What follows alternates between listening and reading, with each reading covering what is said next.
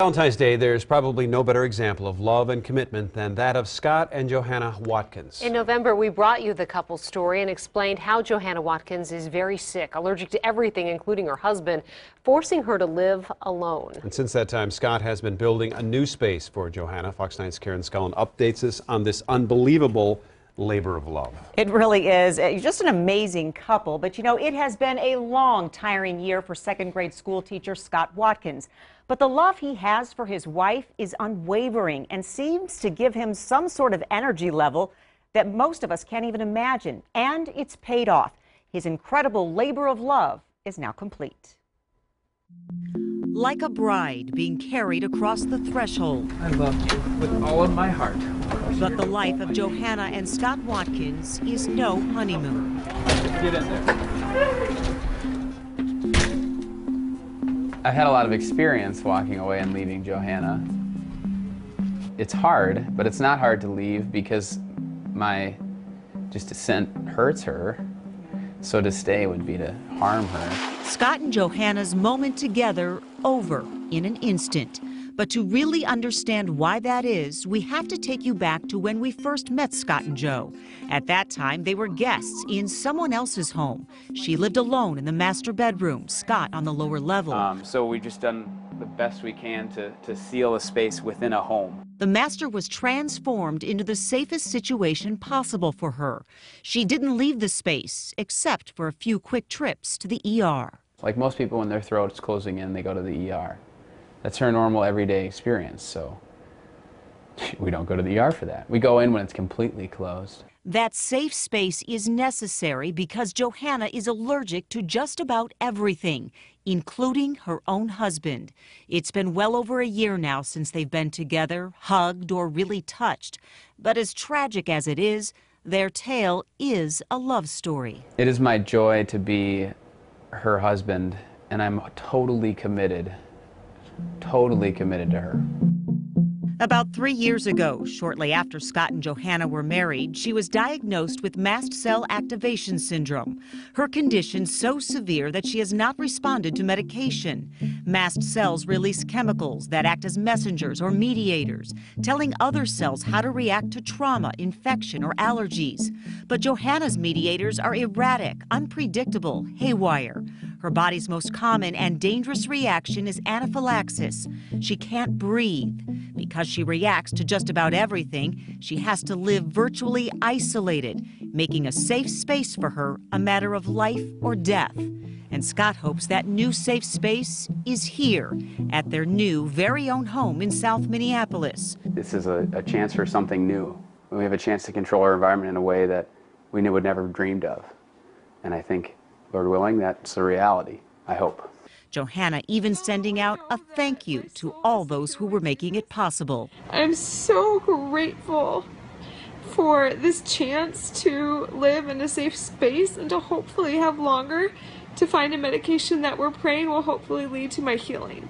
Johanna's new space has new paint, new furniture, newly refurbished floors, all of it heated to kill any scents as smells make Johanna very sick. Yeah, I think we let it pressurize and then we turn it off and try it again in a minute. But Scott has also made sure right, the room is pressurized like an airplane. And the air scrubber is right behind this foam. You can hear it. Most of her air will come from this pink room. So in here is nothing but the fan and a series of filters. So this large device pushes air up into her space and then the air rushes back down back into the system. It's a homemade positive pressure system that aims to keep her air scent free and allergen free. This is hopefully to make her feel better. We don't know, but that's the plan. Back up top, to keep the room pressurized and scent free, an airlock. When you open the door to her space, you can feel the pressure drop a little bit. And I'm worried about that triggering Johanna. Mm -hmm. So the only way to do it is to build a, an airlock. But while Scott works on safety, Johanna's mother works on making it a home. There's her and her two brothers who will be taking care of her. She may not be able to leave her room here for seven, ten years. I hope not. I hope that's not the case. But it's important that this be not just a safe place for her, but a home. Johanna is also allergic to her parents. So her mother, Gail, hasn't held her daughter in over a year. They only see each other through FaceTime. Um, we've decorated it with all family photos because she can't see us. At least she can see us in her home. Us also includes Johanna's three siblings, believed to be the only three people in the world right now she isn't severely allergic to. I will tell you, as a parent, I've never been so proud of my kids as when they started to take care of their sister. Creating the safe space took over a year. When it was time for the final touches to the new home, Scott, friends, and family worked around the clock. Moving day was intense, emotions scattered. I close the door every single time we get stuff in. Until they can find a medication where, or Johanna goes into remission, even my husband and I, this will be the last. I'm sorry. It's okay. I get it. This will be the last time that I'm in her space. Well, I should say that. Hopefully, it's not the last time. It's just temporary. The move had to be quick. Johanna's safe space in the old home was pulled apart, and she was getting sicker by the minute. That's heavy, so watch it. Out of the old and into the new, it was fast and tense. We don't know what will happen, but we just know we've done everything we can to do it right. And then Johanna. Too weak to walk on her own, Scott carried her, carefully placing her inside his car for the five minute ride to their new place. But he didn't get to hug her, kiss her, or say too much.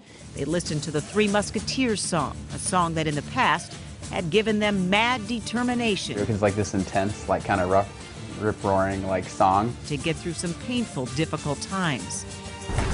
I love you with all of my heart. To your new home, my. He handed her off to her siblings and left. Get in there. The wish that she suddenly get better was not granted. She passed out. To her, the bathroom pipes smell so bad she has to sleep away from it on the couch, and she's fighting to stay out of the emergency room. We know no matter what happens, it's going to be okay. I, I think we cling on to that hope. I'm looking forward to that day. But Scott does believe one day they will be together again. Until that time, though, both Scott and Johanna seem to find their own kind of happiness and a love that transcends every barrier life has put between them. And I made her a promise. I think a lot of times we forget that marriage is a, is a promise. It's the biggest promise you can ever make. I'm going to be here upstairs for now and doing whatever I can.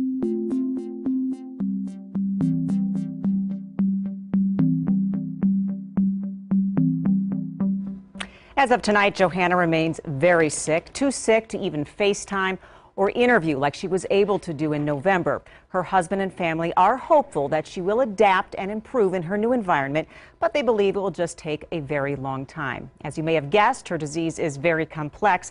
And if you'd like to learn more about the disease, you can check out my original story where I actually interview her doctor at the U of M, doctor mm-hmm. Afrin. That explains a lot, and it mm-hmm. show, you can also follow their story on Caring Bridge and GoFundMe as well. I have to say, this story was most, mostly about Scott. He's amazing. Johanna is truly amazing too, an amazing spirit, and she remains positive, unbelievably positive through this whole thing. I just had this incredible helpless feeling watching that story. you know, You just want her to get well. I just want her to get better. I But can imagine what they go through. Um, boy, what a testament to uh, on a day like today. yeah. yeah. Start thinking about what really matters, right? Hoping for a better ep- update the next time we profile hope so, them. too. Thanks, Karen.